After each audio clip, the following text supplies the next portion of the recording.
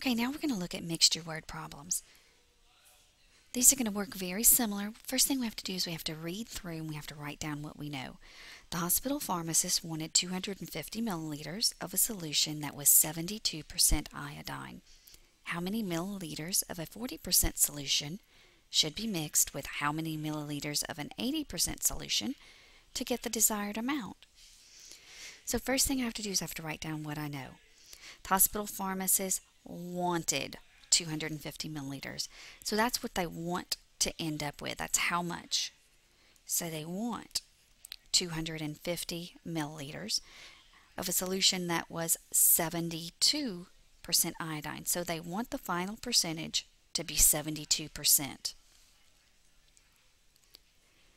Well, let's see what they're working with. How many milliliters of a 40% solution?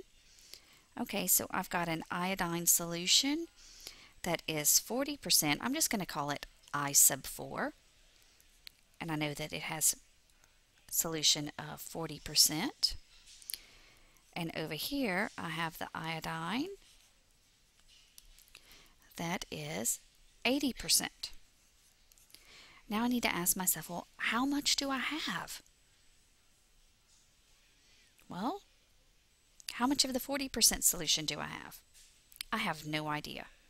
So I'm just going to call it I, and I'm going to use the subscript 4 and that's just so I can remember which one because I'm dealing with two iodines and I want to make sure I keep clear which one's which.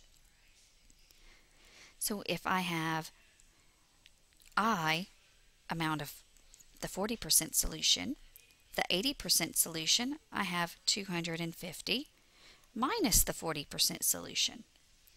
Now for my concentration, I'm just going to multiply 40 times I gives me 40I and again, this subscript has no mathematical bearing. It's just to help me keep it straight. Distribute 80 times 250 gives me 20,000. 80 times negative i, so minus 80i. 72 times 250 gives me 18,000. So if I add how much of the 40 cent 40% solution to how much of the 80% solution, I'm going to get my final solution. So now I'm just going to go through and do the math. So 40 I sub 4 plus 20,000 minus 80i sub 4 is equal to 18,000. Now I'm going to go through and I'm going to combine my like terms. 40i sub 4 minus 80i is going to give me a negative 40i plus 20,000 is equal to 18,000. I'm going to subtract 20,000 from both sides.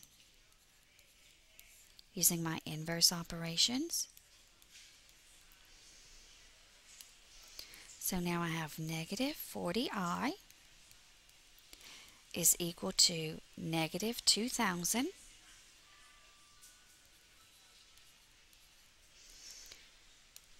going to divide both sides by negative 40 and negative 2,000 divided by negative 40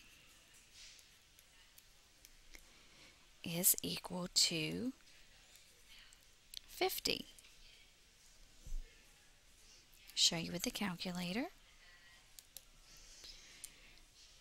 So 2,000 divided by 40 does give me 50, just like I thought.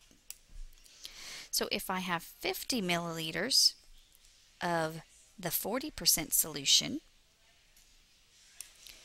I'm going to need 250 minus that of my 80% solution. So my 80% solution, I'm going to need 200 milliliters.